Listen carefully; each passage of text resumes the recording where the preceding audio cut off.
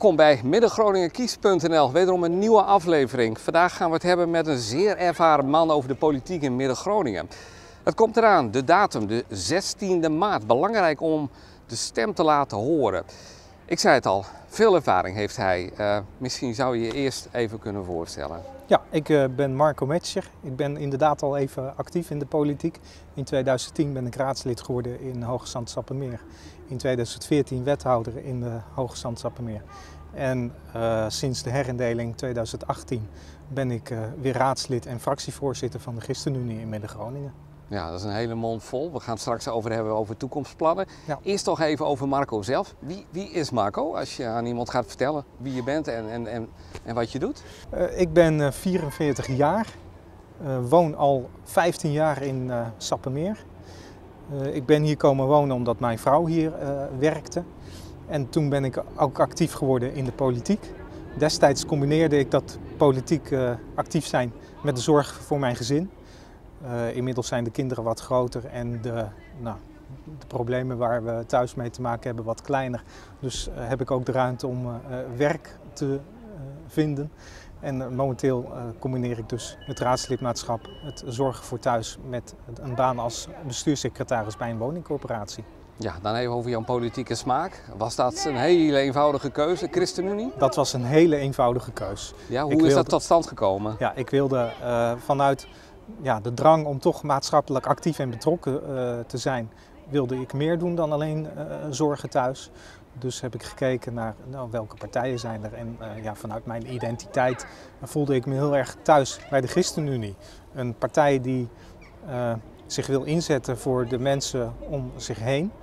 vanuit ja, de drang om goed te doen naar, een, naar onze Bijbelse opdracht en boodschap.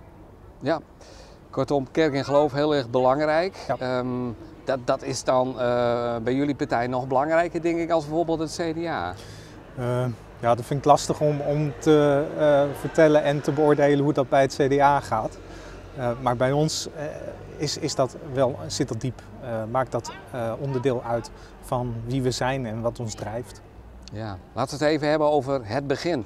Je zei net van ik ben in Sappemeer komen wonen en vervolgens kom je in aanraking met die politiek. Hoe ging die eerste ervaring met die politiek?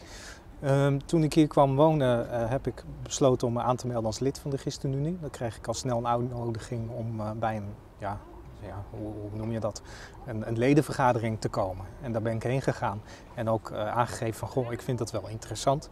En daarna heb ik de uitnodiging gekregen om aan te sluiten bij het fractieoverleg ja, dat heb ik gedaan. En, en ja, vanuit die rol eigenlijk toen al inhoudelijk mee kunnen denken en meegegroeid in ja, hoe het politiek aan toe gaat.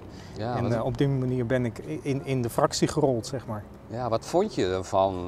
was het jouw ding in het begin? ja, ik, ik vond het leuk, maar ook wel ingewikkeld. Want je krijgt heel veel onderwerpen langs, heel breed. waar je met z'n allen wat van mag vinden. En ja, daar, daar, heb je echt wel tijd voor nodig. En die tijd heb ik mezelf ook gegund om, om, ja, om die stof je eigen te maken. Ja. Welke periode hebben we het dan over? Welk jaartal? Uh, dat zal in 2007, 2008 geweest zijn. Dus twee jaar voor de verkiezingen van 2010. Ja, ja. Toen, kom je, toen ben je voor het eerst in, in die gemeenteraad gekomen van Hoge Sappemeer. Wat was dat voor tijd? Hoe stond Hoge Sappemeer er toen politiek en financieel voor? Uh, nou, 2010, dat is eigenlijk de, uh, het kantelpunt van uh, toen het financieel goed ging met de gemeente en de periode dat de bezuinigingen eraan kwamen. Uh, we hebben in die tijd al een kerntaak, een discussie gehad. De, de, de, politieke verhoudingen, ja, die, die waren denk ik niet, ja, die, die waren wel anders dan nu. destijds had je nog een hele grote PvdA. Ehm, en een aantal andere, ja, voor de rest waren de partijen vrij uh, gelijk. Uh, dat, dat betekende iets voor de politieke verhoudingen. Wat heb je toen, toen bereikt? Uh, dat was een periode nou, dat je die eerste raad inrolt. Vervolgens ga je dan de, de, over dingen meepraten. En, en wat waren die eerste punten waar jij toen als raadslid eigenlijk in mee hebt besloten? Poeh, dat is, is lang geleden. Lang geleden. In ja. die periode zijn wel een aantal belangrijke zaken voorbijgekomen. bijvoorbeeld de Groene Compagnie. Er was een plan om uh, nou, de zuidkant van Hoge Zand vol te bouwen. Met, met uh, ja, een vrij uh, mooie wijk. Veel groen, veel water. Ja. Um, maar die tijd was een heel andere dan nu. er was sprake van er komt krimp aan. er is geen behoefte aan nieuwe woningen. We moesten heel veel afschrijven op bouwgrond. Uh, en toen hebben we in die periode de, de, beslissing gemaakt om niet door te gaan met de Groene Compagnie. Ja. Uh, daar stond wel wat tegenover. Onder andere met de regio uh, Visie Groningen-Assen waren afspraken gemaakt over woningbouw. Nou, nu de Groene Compagnie niet uh, doorging, was de afspraak dat we daarin werden gecompenseerd. Of, nou ja, we, we konden daar wat anders voor gaan doen. En dat hebben we toen gestopt in de plannen voor het stadscentrum waar we hier nu staan. Ja. Ehm, en ja, dat, dat, dat is wel een van de belangrijkste besluiten geweest, denk ik, die we die periode hebben gemaakt. Toen hebben we eigenlijk uh, de, de, planvorming van het nieuwe gemeentehuis, waar we nu voor staan, uh, in, in, is eigenlijk toen al ontstaan. Ja, ja, ja, maar ook uh, het hele gebied hierachter, aan de noordkant van de Hoge Meren, waar nu ook allemaal woningen worden gebouwd. Ja. Dan word je ineens wethouder. Wanneer was dat en hoe kwam dat tot stand? Dat was in uh, 2014. In 2014 uh, werd de SP de grootste partij in uh, Hoogzand-Sappemeer. Ja, dat is heel uniek ehm, toen. Ja, ze deden toen voor het eerst mee en dat vonden wij spannend, dat vonden zij spannend. En ja, toen ze de grootste werden, dan vonden ze ook dat, dat zij de verantwoordelijkheid moesten nemen om, om eh, ja, dan ook een, een, mee een college te vormen. Uh, daar zijn gesprekken over geweest. En ja, de inhoud van die gesprekken is natuurlijk uh, uh, redelijk vertrouwelijk. Ja. ja. maar hoe groot waren jullie toen? Hoeveel, hoeveel zetels stemmen ja, hadden jullie gehad? In de periode 2010-2014 hadden we twee raadzetels. In de periode 2014-2018 hadden we één raadzetel. Dus werd je eigenlijk een beetje gebruikt om, om het, uh, de meerderheid een beetje te vormen? Nou, zo voelde dat voor ons niet. Want nee, het CDA zat in hetzelfde schuitje.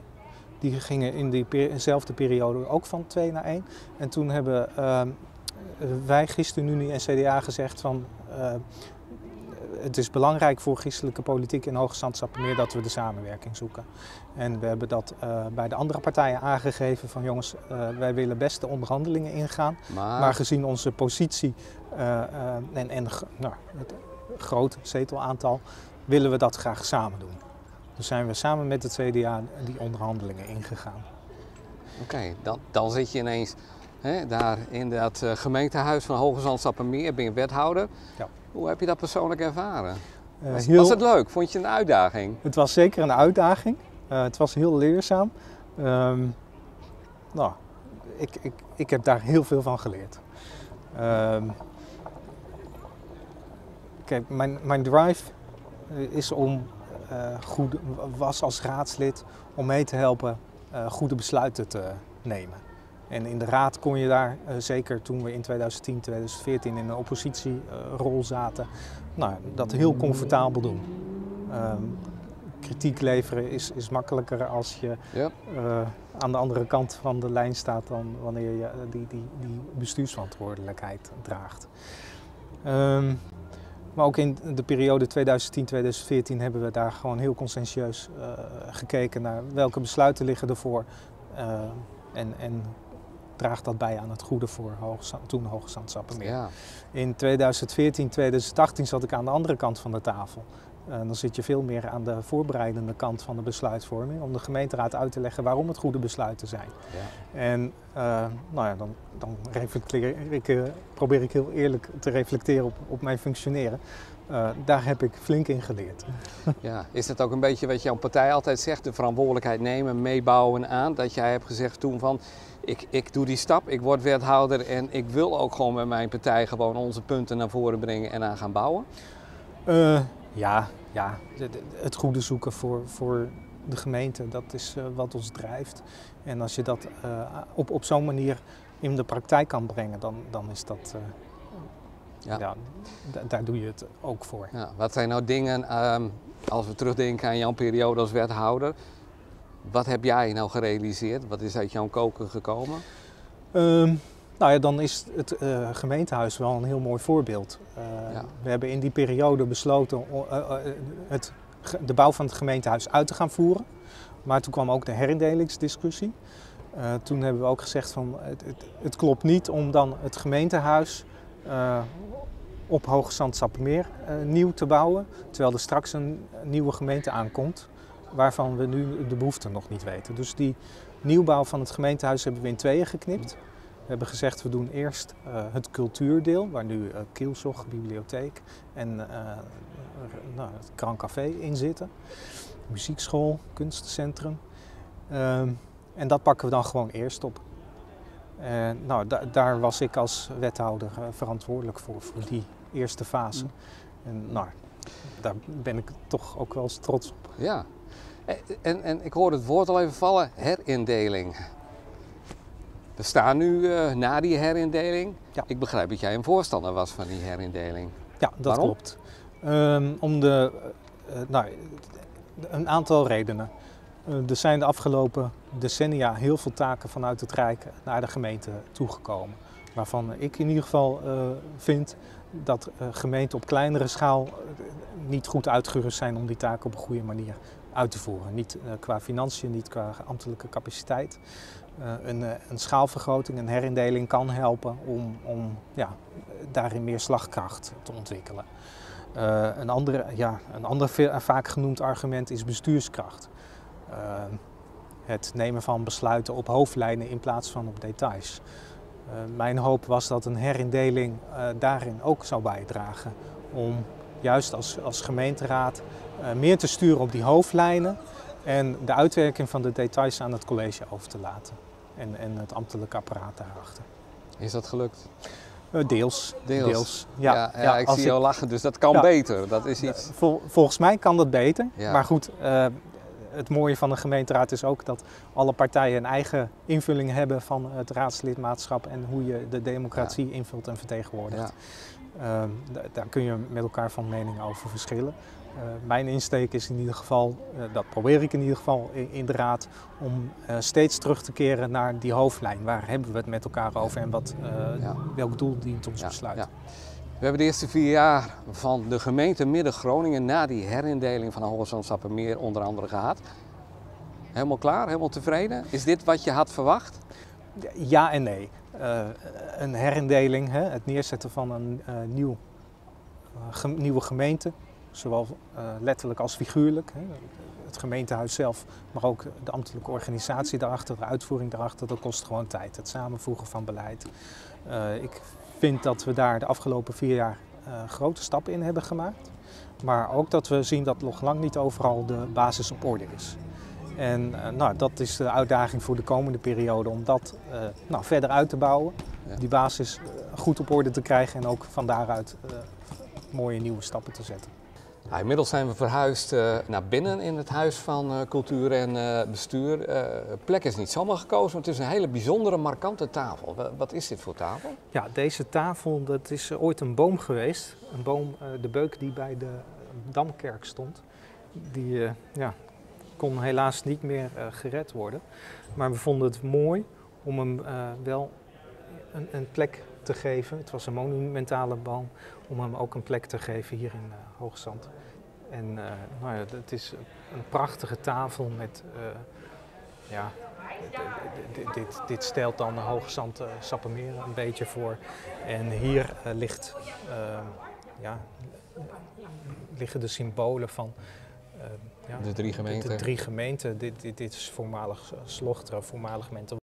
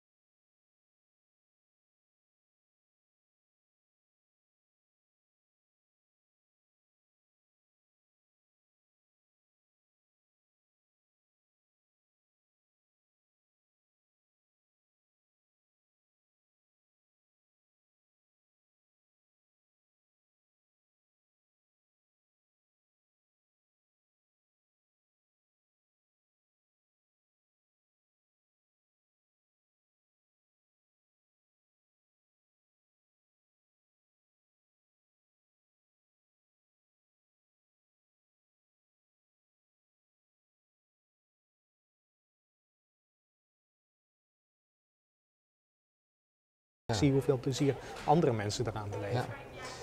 Nou, een uh, nieuwe periode, vier jaar. En dan zeg ik gewoon even een beetje om jou te plagen. Nou ben je gewoon raadslid. Maar zo zie jij dat niet, hè? Nee, ik ben uh, heel trots op die rol. Uh, op wat je daarin voor de gemeente kunt betekenen. En hoe, hoe, ik daar invulling mag, aan mag geven.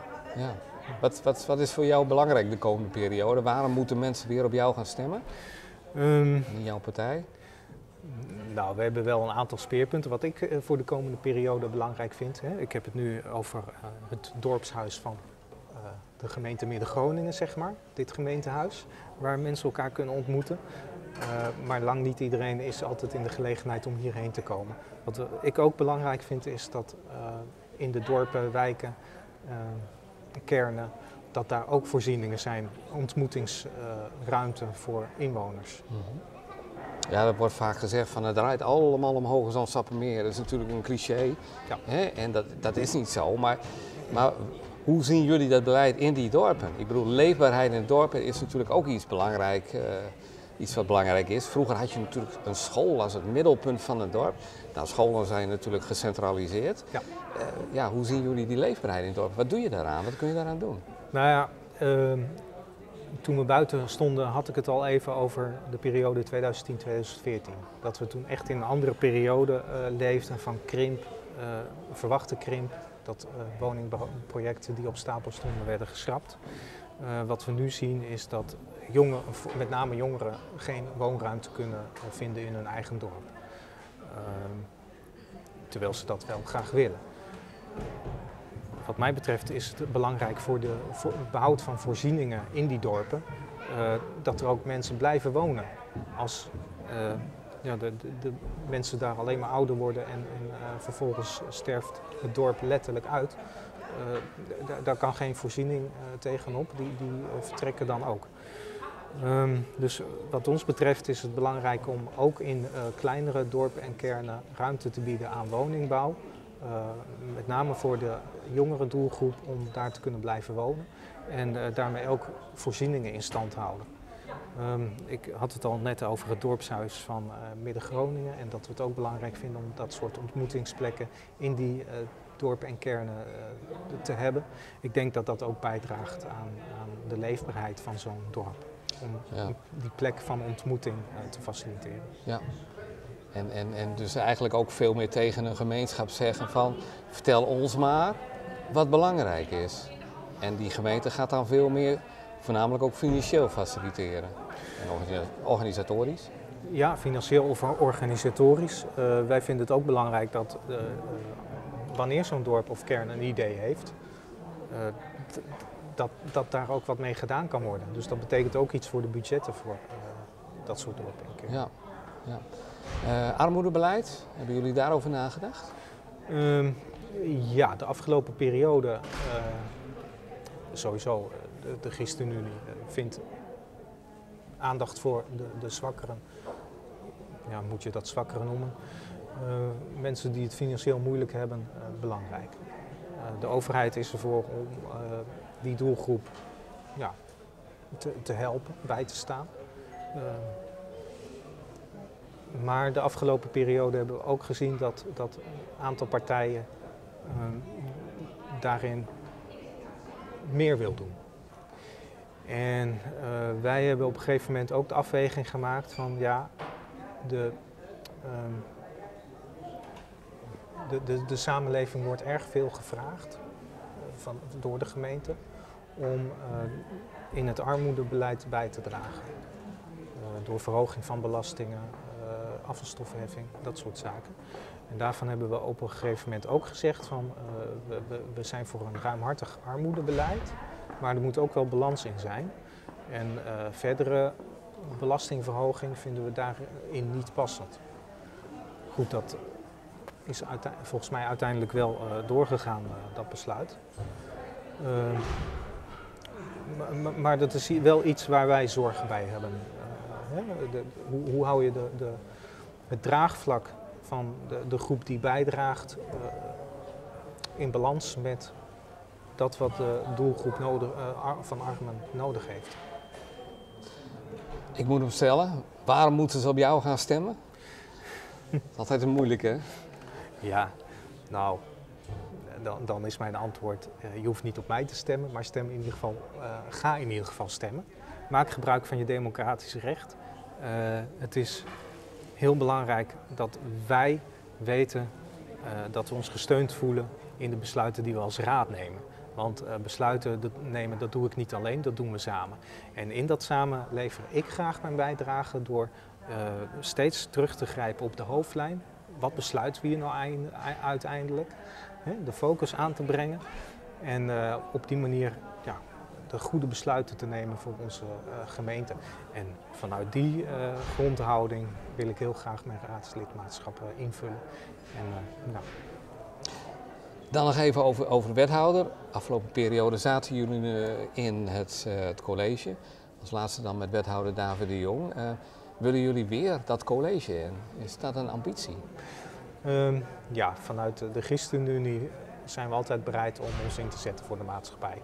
En of dat dan vanuit een oppositie of een coalitierol is, eh, dat, dat maakt, ja, maakt het uit. Ehm, wij vinden het vooral belangrijk dat we die bijdrage op een constructieve manier eh, kunnen doen. En als dat kan eh, vanuit een coalitierol, dan lopen wij daar niet van weg. Dan gaan we vanuit die rol het goede zoeken voor onze inwoners.